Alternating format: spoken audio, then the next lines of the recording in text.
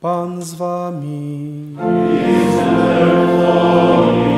Słowa Ewangelii według świętego Marka.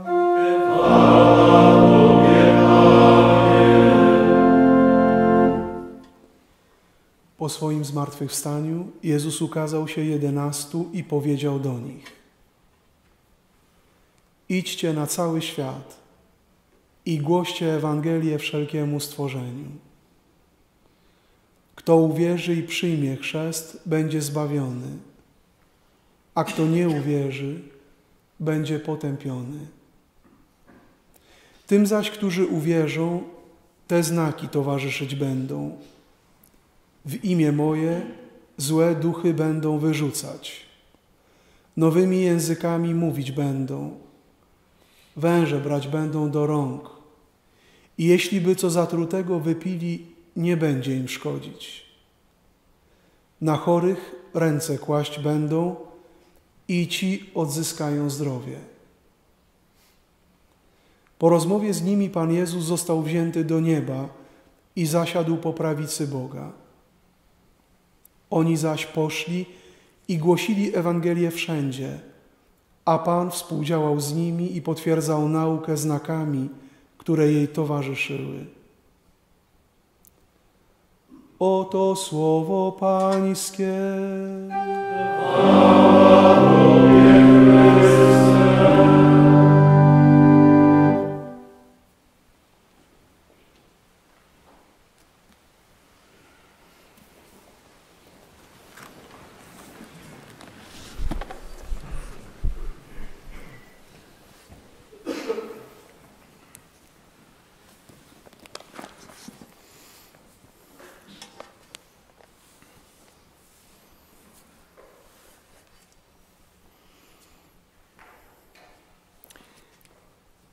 Dobrze jest y, być pobłogosławionym właśnie tą Ewangelią, której wysłuchaliśmy.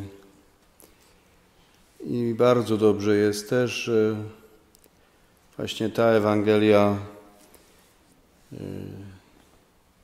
nam towarzyszy w tym momencie naszych rozważań, naszego spotkania tutaj. Misyjny mandat Jezusa, tak jak go zapisał święty Marek.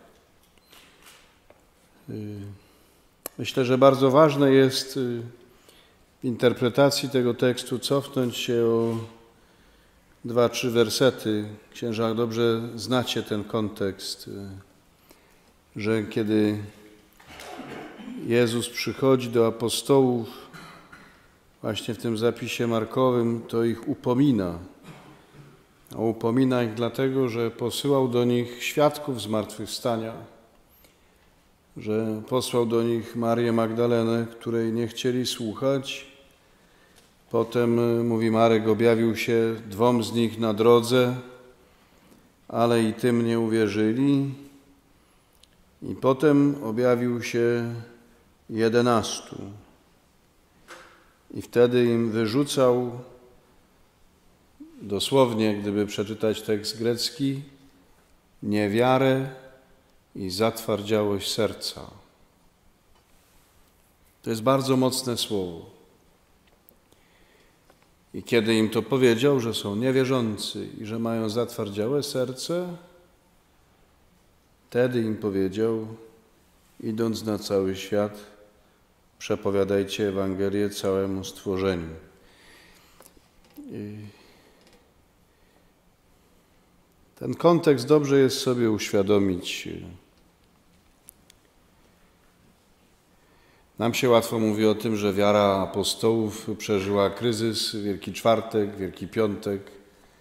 Natomiast Ewangelia, zwłaszcza Markowa, pokazuje, jak bardzo trudna była wielkanocna wiara apostołów, że e, Jezus się im na wiele sposobów pokazuje, posyła do nich ludzi, ale wszystkie te świadectwa Jego zmartwychwstaniu od 11 się odbijają jak od muru.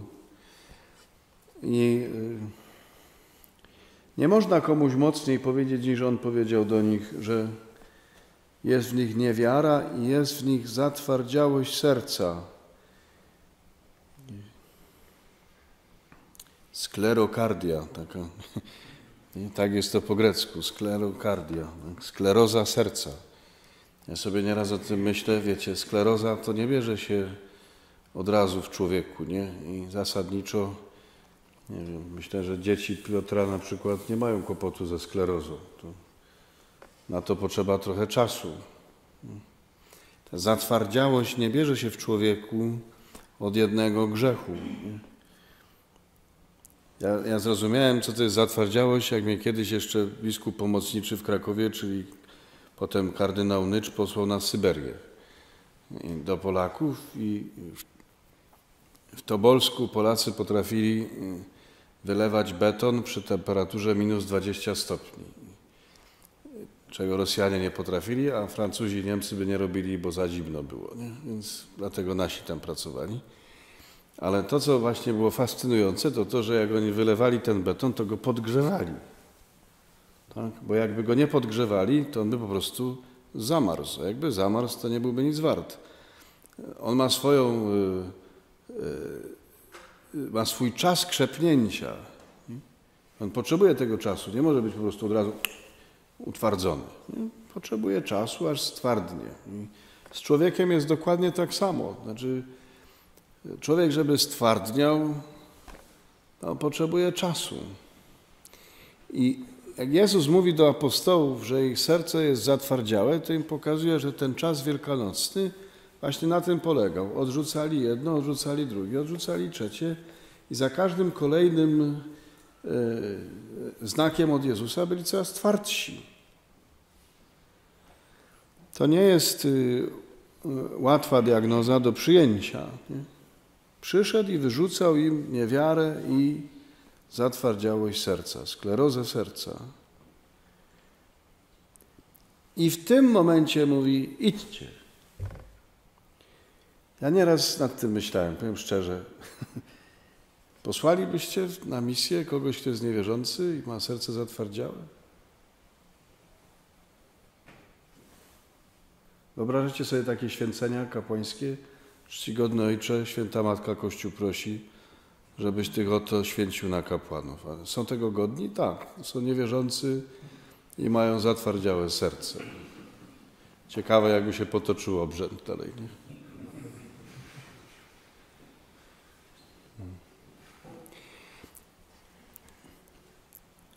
To brzmi jak szaleństwo, ale w tym szaleństwie jest metoda i myślę, że nawet podwójna.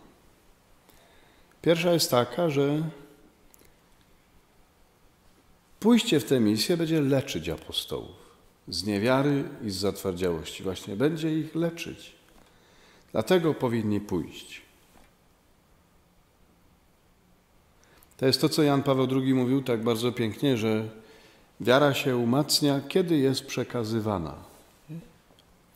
Jak nie przekazujemy wiary, to zasadniczo nie powinniśmy się za bardzo martwić o tych, którzy nie słyszą tego przekazu. Za to bardzo poważnie powinniśmy się martwić o siebie samych. Bo e, nie wyjście do ewangelizacji spowoduje, że nasza wiara w nas po prostu umrze. Wiara się potwierdza, utwierdza, gdy jest przekazywana. To jest e, Jan Paweł II. Jest też y, znane takie mocne powiedzenie Pawła VI, że jeśli my nie pójdziemy do świata, to Pan Bóg go zbawi bez nas, ale nam biada. I to biada to właśnie nie polega na tym, że błogosławiony papież Paweł VI nas straszy, pójdziesz do piekła, jak nie będziesz głosił Ewangelii. Nie? Biada ci. Nie, biada ci, bo twoją wiarę diabli wezmą po prostu. I to jest rzeczywisty problem. Chrystus posyła apostołów, ponieważ y, y, chce ich leczyć z niewiary i z zatwardziałości. Chce ich leczyć i to jest, y, to jest sposób, to jest metoda, to jest to, co ostatecznie będzie dla nich najpierw uzdrowieniem. I to rzeczywiście tak jest, że jak człowiek wychodzi do innych ze słowem, jak człowiek wychodzi do, nich, do innych z orędziem zbawienia, jest zawsze pierwszym, który na tym korzysta. Pierwszy. Pierwszy jest pierwszym, którego słowo dotyka, właśnie to, które przepowiada. jest pierwszym, którego dotyka łaska. To jest moment zbawczy dla samego apostoła. To bardzo ważne. Myślę, drugi wymiar tego, jak powiedziałem w cudzysłowie, szaleństwa jest taki, że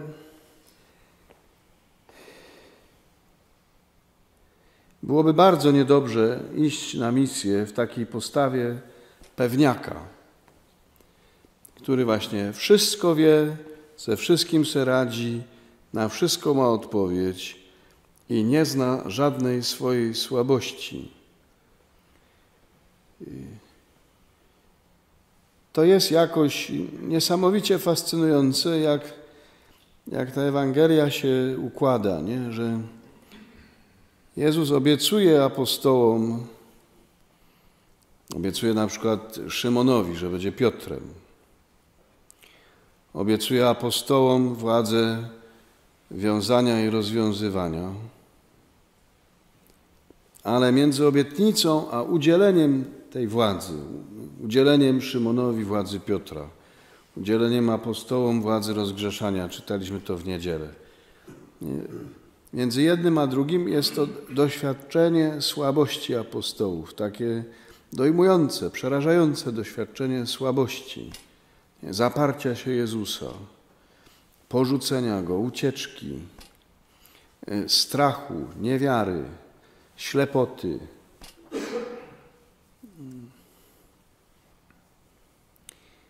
Paradoksalnie chyba jest tak, że e, człowiek, który właśnie nie jest takim pewniakiem, może misję ewangelizacyjną spełniać lepiej. Może łatwiej znajdzie wspólny język z tymi, którzy doświadczają trudności, doświadczają e, grzechu, słabości.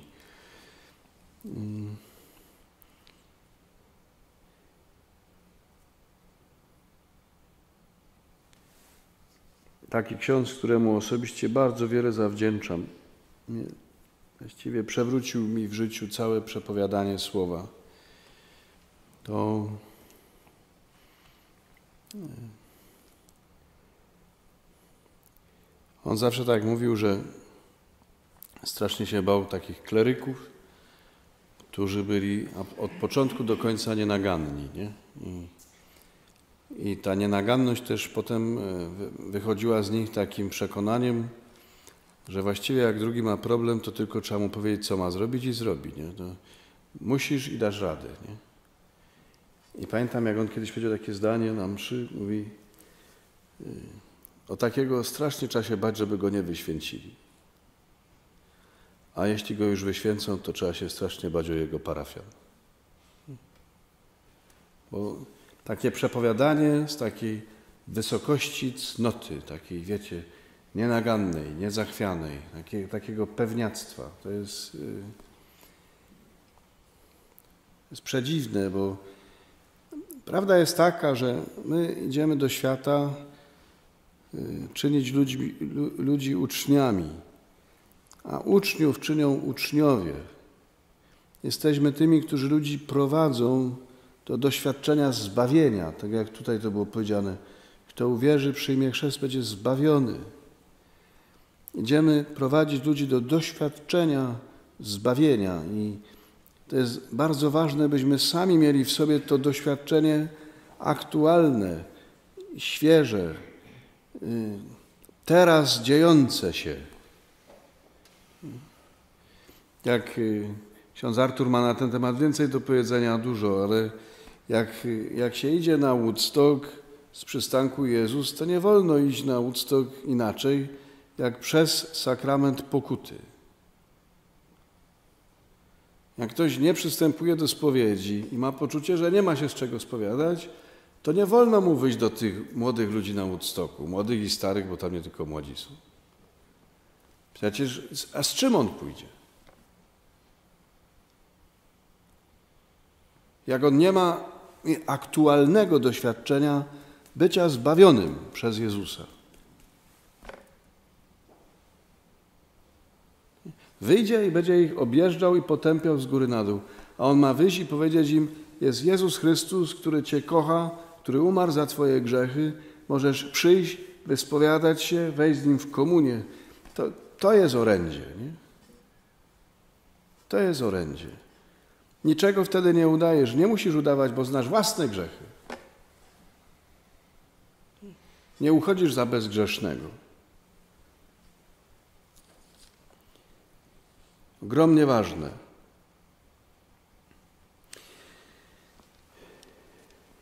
To jest pierwsza rzecz, może dwie następne będą krócej, daj Boże.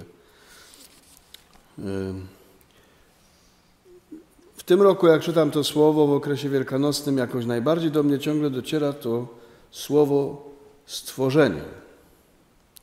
Idźcie, głoście Ewangelię, przepowiadajcie Ewangelię wszelkiemu stworzeniu.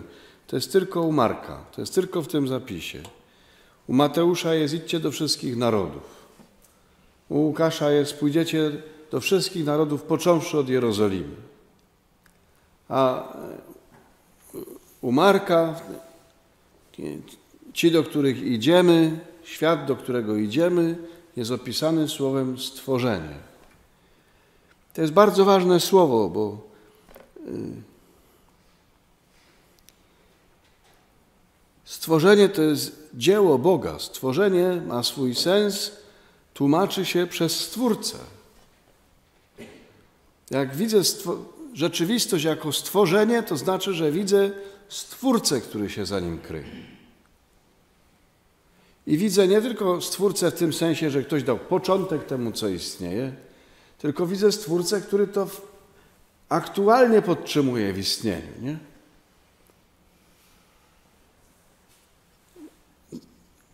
Sami to wiemy o sobie. Jak mówimy, jest to, co Benedykt XVI podkreślał, że dzisiaj dogma do stworzeniu trzeba głosić z większą mocą niż dogma do odkupienia.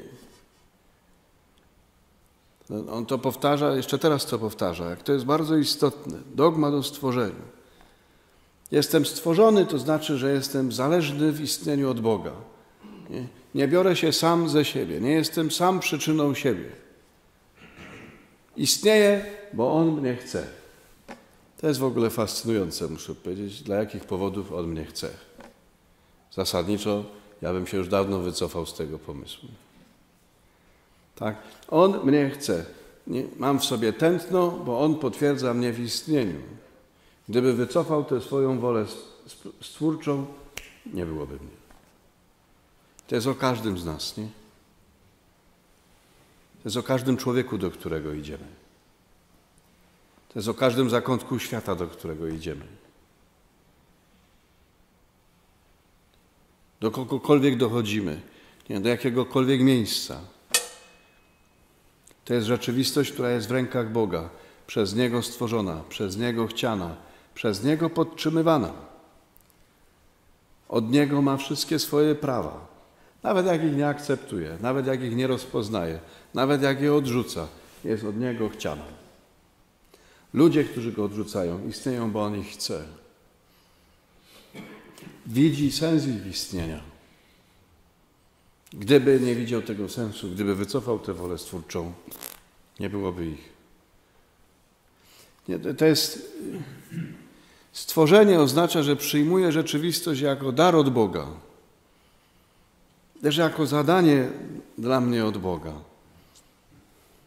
Ale to jest niesłychanie istotne, tak? żeby, żeby widzieć Boga za wszystkim, do czego, do kogo dochodzę z Ewangelią. Bóg mi zadaje każdego człowieka.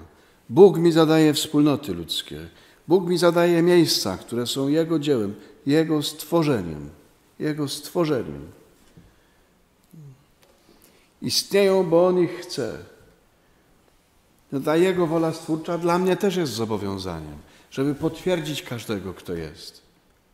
Potwierdzić Jego istnienie. Kto ja jestem, żebym Bogu dyktował, kto ma istnieć? No.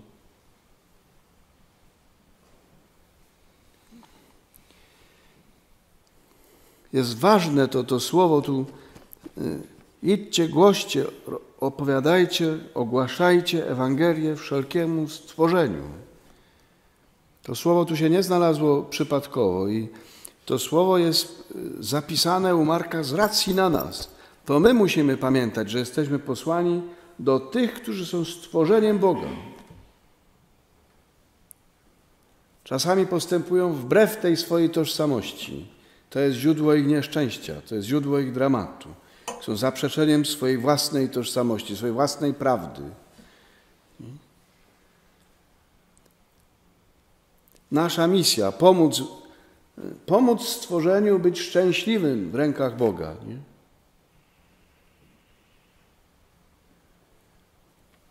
Temu człowiekowi, który nie akceptuje prawdy o stworzeniu, bo sam by chciał być stwórcą, chciałby sam być prawodawcą, o wszystkim chciałby sam decydować. Otworzyć człowiekowi oczy na to, że to jest dobra nowina, że jesteś stworzony. To jest dobra nowina. Nikt cię nie chce, Bóg cię chce, bo istniejesz. Znacie takich ludzi? Ja znam takich ludzi od, od groma. Nikt ich nie chce. Matka, ojciec ich nie chcą. Kolegów żadnych zero. Po co istnieć? Po co żyć? Nikt cię nie chce. Istniejesz, Bóg cię chce. Twoje życie nie jest przypadkiem. Odwiecznie cię pomyślał. Pomyślał cię odwiecznie, a teraz cię podtrzymuje w każdej minucie, bo jesteś kimś, bo jesteś dla Niego ważny, bo widzi w Tobie dobro, bo jesteś dla Niego jakimś partnerem. Ma w stosunku do Ciebie jakieś marzenie. On na pewno je ma. Żeby pójść do ludzi w takim duchu, z takim przekonaniem co do nich. I to wcale nie oznacza uznawanie, uznawania ich za bezgrzesznych, za nieomylnych. Nie, absolutnie nie.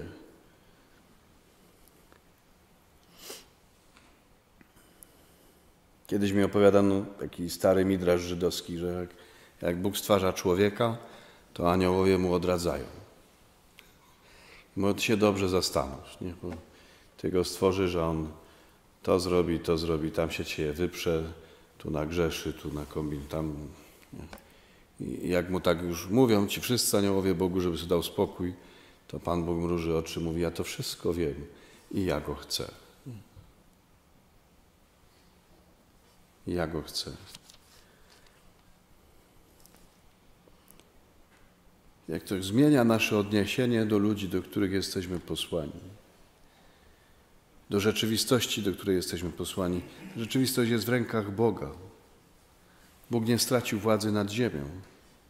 Bóg nie stracił władzy nad historią człowieka. Bóg jest Stwórcą. Bóg jest Stwórcą. Świat istnieje, bo On go chce. I ostatnie słowo to jest e, właśnie przepowiadajcie Ewangelię. Kto przyjmie Ewangelię, będzie ochrzczony, będzie zbawiony. Wiara jest odpowiedzią na słowo. Ten tekst, y, może w tłumaczeniu polskim nie od razu to widać, ale y, w greckim tekście Marek zrobił wszystko, żeby pokazać, że te wszystkie znaki, o których jest mowa, y, wszystkie cudowne znaki o wyrzucaniu demonów, o mówieniu językami, o braniu węży do rąk, wskrzeszaniu umarłych, to są wszystko znaki, które przychodzą później. Później, w środowisku wiary. Ale najpierw jest wiara, która jest odpowiedzią na głoszoną Ewangelię. Uwierzyć w moc słowa. Uwierzyć w moc słowa. To jest y, To jest to, co jest w tej niesamowitej przypowieści o Łazarzu i bogaczu. Największy kłopot bogacza to jest ten, że miał całe życie Biblię na półce i nigdy nie traktował jej poważnie. I, i, i jak siedzi w, w tej otchłani, to mówi do Abrahama: Mam pięciu braci. Poślij łazarza do, do, do mojego domu, do domu mego ojca, niech ich przestrzeże żeby tu nie przyszli na to miejsce męki. Nie? I Abraham mówi, mają Mojżesza proroków, niech ich czytają. Niech ich czytają. Nie, nie, ale jakby kto z umarłych do nich poszedł, to się nawrócą. No? I tu jest ten gest Abrahama, nie? Taki. Jak Mojżesza i proroków nie słuchają, choćby kto z umarłych powstał. Nie uwierzą. Nie uwierzą. Hmm. Cuda, cudeńka, patataj, patataj. Słowo, Ewangelia jest mocna. Jest mocna. Słowo formuje człowieka. Słowo jest siłą, jest mądrością, jest miłością Boga. Słowo może człowieka zmieniać. Boże Słowo, nie moje. Boże Słowo. Głosić Ewangelię. Siedzieć z ludźmi nad Biblią. Ale tak, żeby stała się dla nich słowem od Boga. To wtedy w takim środowisku potem przychodzą znaki, które dla wszystkich są cudowne. W takim środowisku przychodzą znaki.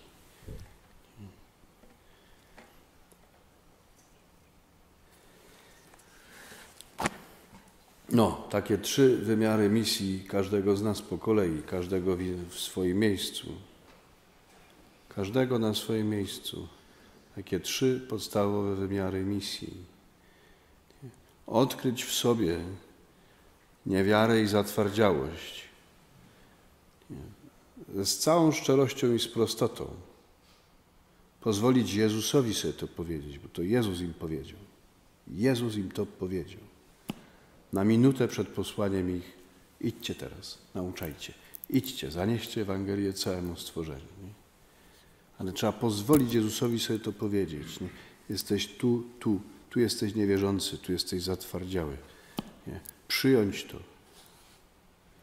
To będzie pomagać mnie i innym. Iść do stworzenia ze świadomością, że Bóg mnie posyła do swojego stworzenia i iść z Ewangelią. Amen. Odpowiedzmy na to słowo naszą modlitwą. Zapraszam wszystkich.